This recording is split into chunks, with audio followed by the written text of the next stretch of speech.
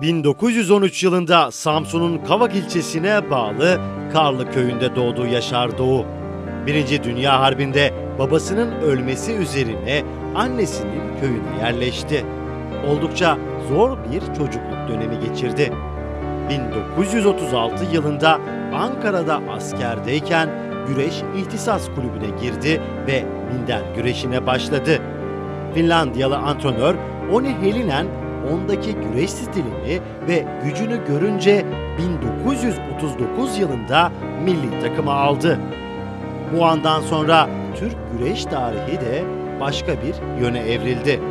Güreş tarihinin efsane isimlerinden biri olan Yaşar Doğu, ay yıldızlı mayoyla yaptığı 47 güreşin yalnızca birinde yenilmiş, galip geldiği 46 karşılaşmanın 33'ünü tuşla kazanmıştır. Avrupa, dünya ve olimpiyat şampiyonlukları bulunan milli sporcu Türk sporunun efsanelerinden biri haline gelmiştir. Adını alan birçok tesis ve müzeyle Samsun ve Türkiye'de ismi yaşamaya devam eden Doğu, 8 Ocak 1961'de kalp krizi geçirerek vefat etmiştir.